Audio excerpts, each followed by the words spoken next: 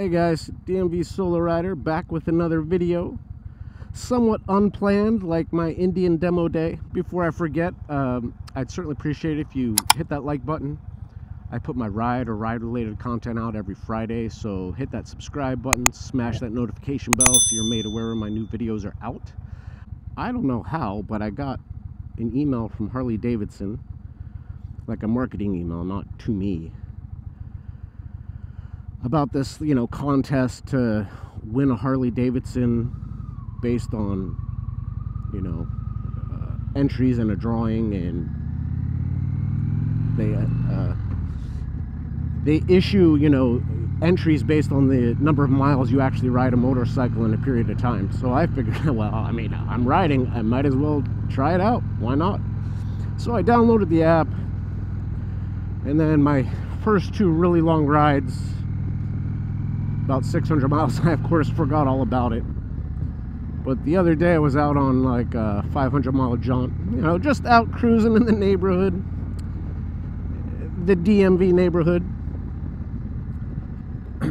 and I remembered about it and I turned it on and all that. But anyways, long story short is when you download the Harley app, they have a section for like Harley events and I was looking through it and one of them was what seems like an Indian demo day, but at my local Harley Davidson dealer, Harley Davidson in Washington, D.C., which is out in Fort Washington, Maryland. And as far as I can tell, you basically show up and you can ride whatever bikes you want as long as you're willing to provide, like, answer a few questions after each ride, I guess, about your experience on that particular bike. Now, it, I, I don't know if it's going to be just like Indians demo day or if it's a little different they asked me what time I was gonna, you know, I called them to see if I could film, if they were letting people ride who had no, no plans to buy a bike, and they said absolutely. Um, they said, you know, no problem filming or whatever. But they asked me for a specific time, and Indians Demo Day is just, you know, cattle call. Everyone shows up, the bikes are there all day on, you know, they do rides every, you know, probably one ride every 30 minutes. So I'm not sure how exactly this is going to go. We might just be able to ride one bike or we might be able to ride them all. My priority is I'd really like to ride the Sportster, the much maligned Sportster. It's the motorcycle that every Harley Davidson enthusiast loves to hate, apparently. You know, you hear that it's uh, a great first bike. You hear it's a terrible first bike because it's just a terrible motorcycle. But then you find folks who just love them. They love customizing them, love making them their own. And obviously with the Harley, sky's the limit as far as what you want to do to a Harley Davidson motorcycle. There's such a, a rich third-party ecosystem. So I'm really eager to ride that motorcycle, just the, the most basic Sportster, and see what it's really like interested in comparing it to my own thoughts of my Indian Scout.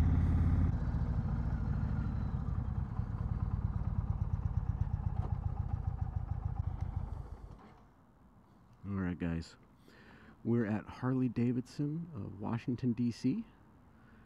I'm gonna go in and see what's what. We'll be back.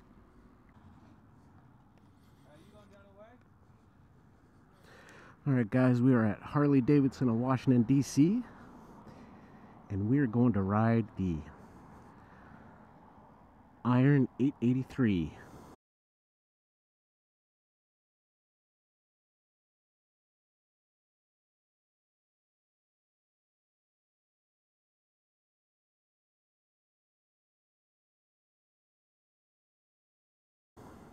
He wanted me to ride a 1200. He said, coming off the chieftain, I would be under unimpressed. And I told him it's really not about the power; it's just the experience. So he was he was with it.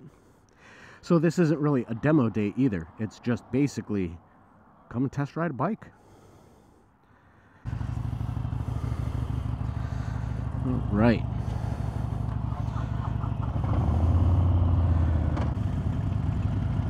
I like the feel. I feel a rumble, that's for sure.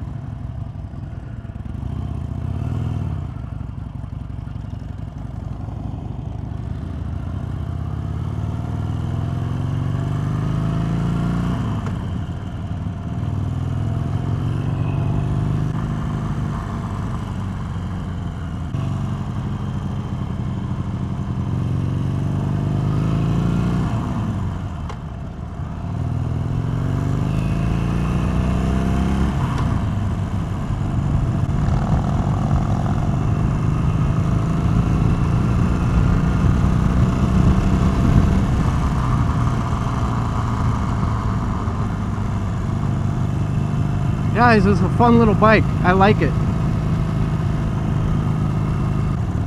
I really like it. I'll be honest, guys, it's fun. As long as you know what you're what you're getting, it's enjoyable.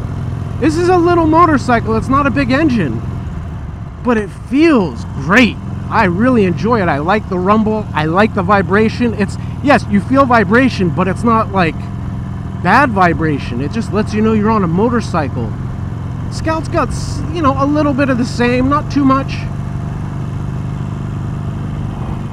You know, I, I, was watching Yammie Noob. He just got one of these bikes for a giveaway and he hates it. He just can't stand it. And I think he's being a little harsh.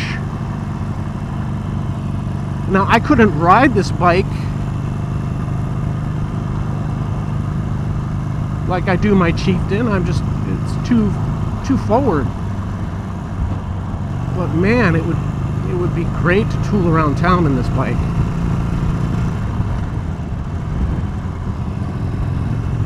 Yeah, fourth gear at 2500 RPMs is not great.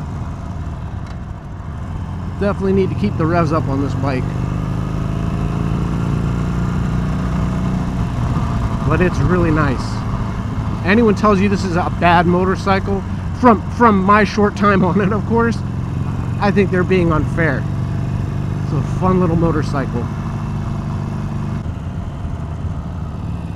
Tell you what, guys, I gotta get used to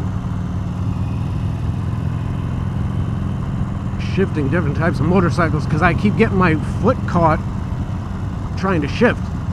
Same thing on any peg bike, I'm so used to floorboards, it's a bad habit. I mean, how does this compare to the Scout? I mean, it doesn't, to be honest. If you're looking for a motorcycle you can ride for years, get the Scout. This is never going to be it. This is a motorcycle you get because you love the way it looks, you enjoy riding it, and you're okay not taking it all over creation. You know, if you're commuting into downtown DC, for example, you know, 10 miles. Okay.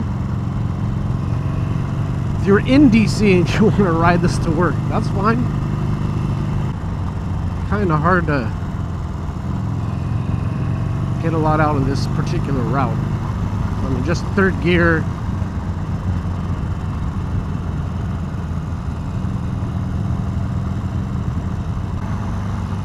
So this is a used iron. It's got 195 miles on it, something like that. Yammie Noob says it, it turns in like a pig. I mean, yeah, okay, I get it, but I mean, it's not a sport bike. It's totally okay.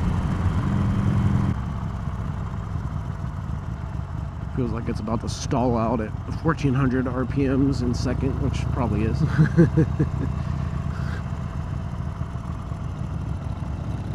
I mean, I could have taken that turn in first, been more comfortable. This bike lives in third gear around these streets.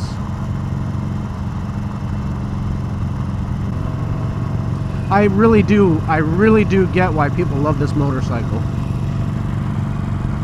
If you're looking for a bike that you can get and learn, I think you'd be fine on it. Throttle is not too much, there's not a lot of power here.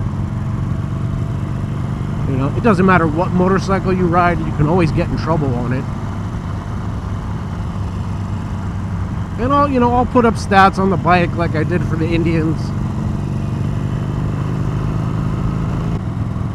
But yeah, I mean, you get a bike like this, you learn on it, tool around town on it. You can make it a project bike with all the stuff you can do with Harleys. I totally get it. You know, he, he I was telling him about, you know, all the complaints you hear about this bike and so much vibration, etc.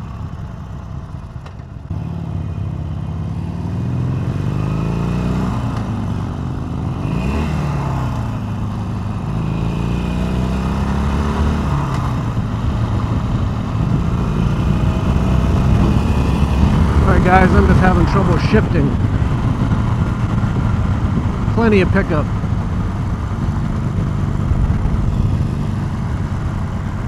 What it is. I mean, really.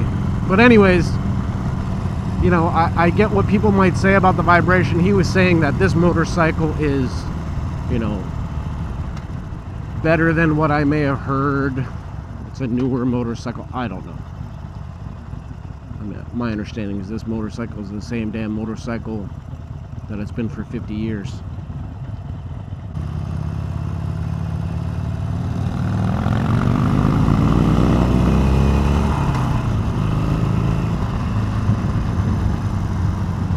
Alright guys, I think that's it for our Sportster test ride.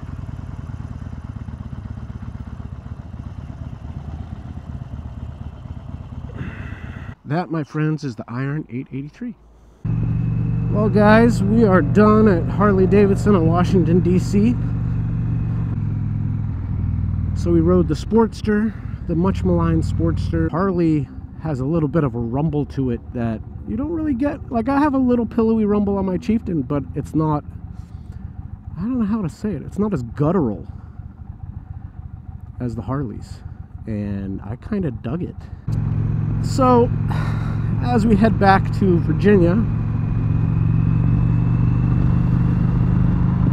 what are my wrap up thoughts?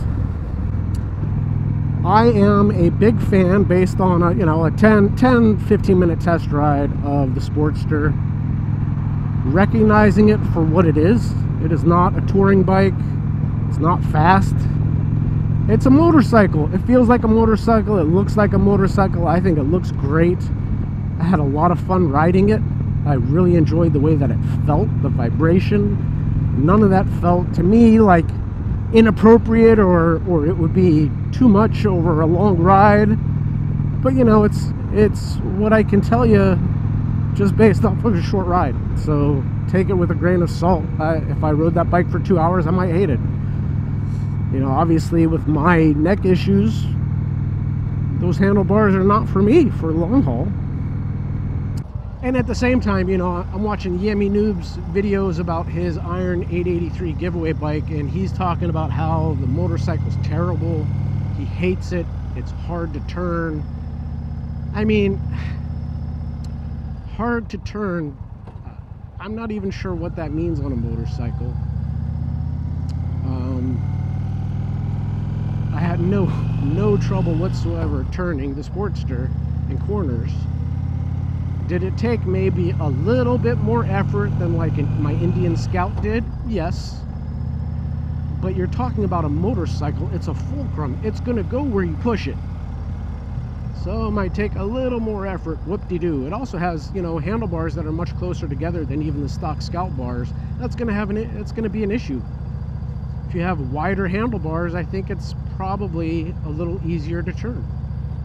That's my experience. I think the Chieftain is really easy to turn given how far apart the grips are. It's a much heavier bike, so that's what requires more effort. Anyways, I, I could be wrong in everything I'm saying. No motorcycle expert. I'm just the guy who rides them and tells you what he's thinking while he's doing it. Uh, that's all I can do for you.